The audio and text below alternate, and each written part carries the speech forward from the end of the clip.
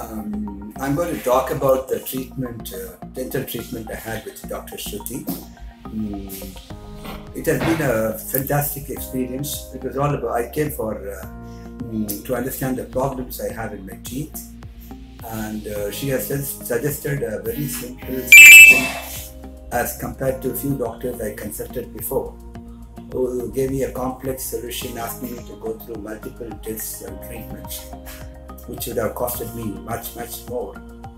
I found in her uh, a sense of commitment, a sincerity towards the well-being of the patients.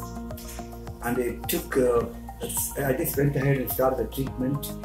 It was just about 30 minutes or less. She did the scaling and also she did the polishing and also smoothened uh, one or two teeth which she said would hurt now. In all, it was a very pleasant experience, painless uh, for anesthesia, she gave some spray over my teeth, and it was all well done. I never felt uh, uh, that treatment could have been so simple and easier. I must compliment uh, this hospital, this Partha Dental Hospital, for a very good uh, effort they are taking.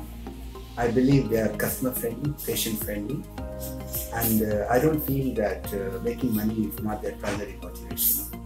I would suggest that patients from other parts here should come and try and they'll feel the difference.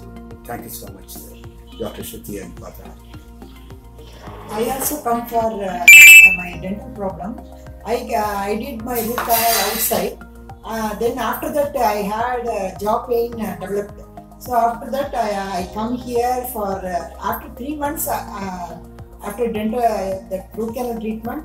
I had continuous pain so when I when I approach uh, Partha Dental, uh, Shruti doctor uh, gave me a solution that uh, it, it, might not be a TMJ pain, but it it may be you have inside that muscle pain. She told. Then she gave some wonderful idea to how to that you massage your inner mouth she told the problem she is uh, very easily she gave uh, solution uh, that I uh, I suffered a lot. Uh, I, I don't know the problem, but when I come here, I got a solution through Shruti Bhatta. Thank you.